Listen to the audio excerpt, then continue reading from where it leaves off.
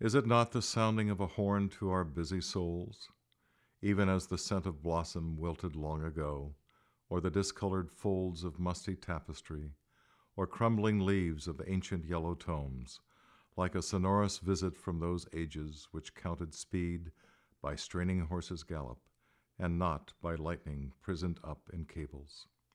And when to live and learn they raged the countryside, not just the closely printed pages?